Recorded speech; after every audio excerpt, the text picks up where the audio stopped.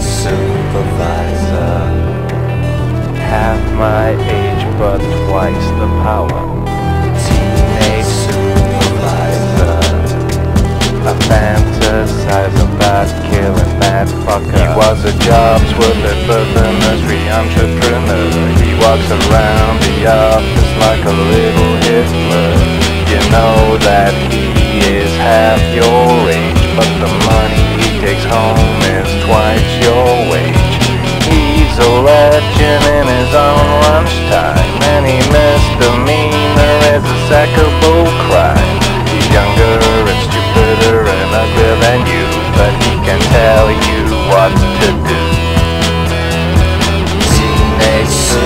supervisor. Half my age, but twice the power. Teenage supervisor. I fantasize about killing that fucker. He's underage, but he's overpaid. He makes my life hell cause he can't get laid. He blames other people for the errors he's done. Every argument would just get on with my work if it wasn't for that interfering fuck. He says that my attitude to work ain't right. I'm gonna take him in a fight.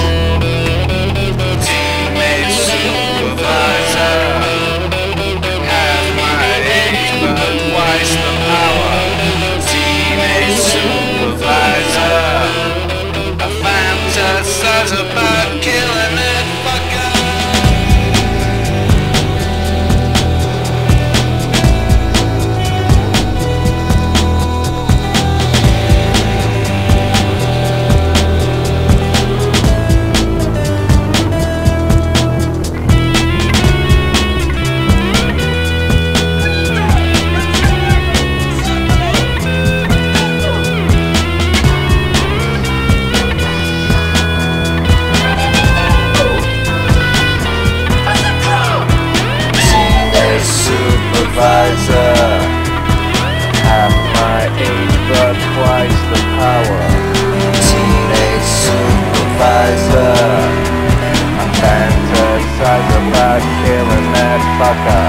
I can't get to sleep at night in my bed. Cause the thought of that place fills my mind with dread. I promise myself I'll find another job. But there's nothing appropriate that I can think of. I can't stand another with that prick. So tomorrow I'm gonna phone in sick.